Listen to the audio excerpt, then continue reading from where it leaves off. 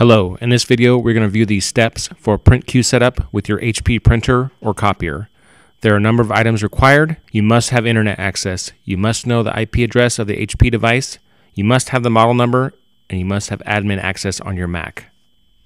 Open a web browser. Go to support.hp.com.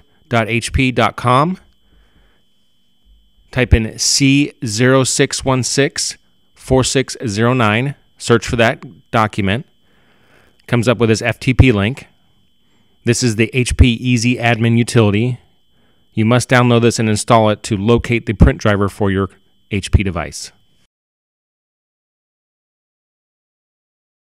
Now open Finder and locate the download.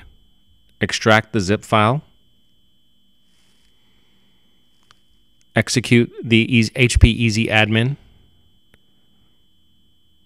uncheck that box and agree there. Select OK. Enter the HP model number.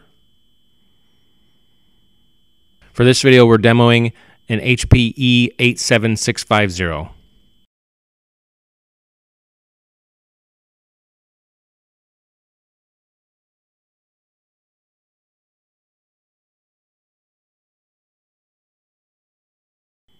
Now run the package installer. This will prompt for your username and, and password for your Mac at some point here. So make sure you have that. Select continue. Select install.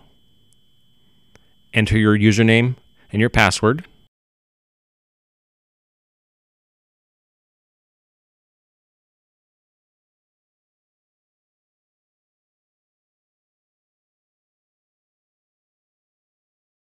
Once the dialog is completed, and the installer is done, close out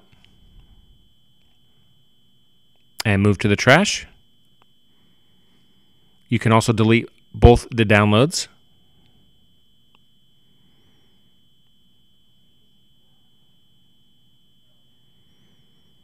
Now we want to set up the print queue. So at the top left, open System Preferences or on your Universal Taskbar down there. Select Printers and Scanners. Select the plus symbol to add a new printer. Select the printer via IP, enter the IP address. This will be the IP address for your device. Make sure LPD protocol is set. Give it a queue name. LP for line printer is what we're using here. Enter the model number. This is the identifying name for the print queue.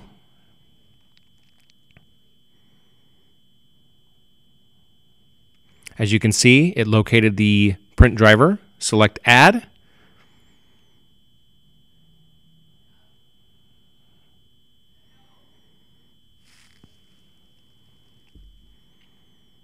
Open the print queue. Select Printer and Print Test Page. If you have a test page waiting for you at your device, you've successfully completed the print queue setup. This concludes our video. Thank you.